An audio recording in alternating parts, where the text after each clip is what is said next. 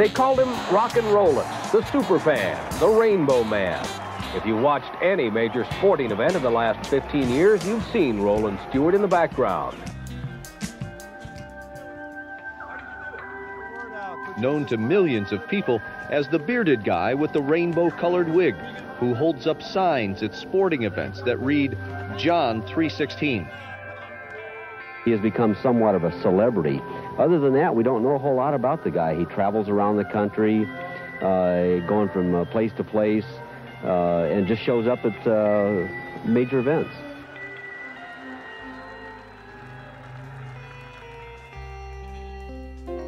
His name is Rollen Stewart. He seemed harmless, but apparently he wasn't. He is wanted, armed and dangerous, and the feds say he's got a hit list. Mr. Stewart, why did you do it? Why did you do it? Get the word out for Jesus Christ. We're living at the end of the age. Regan Harbor, come back for here, John 16. Guys, come back. Kind of went overboard, buddy, but uh, come on, go hard.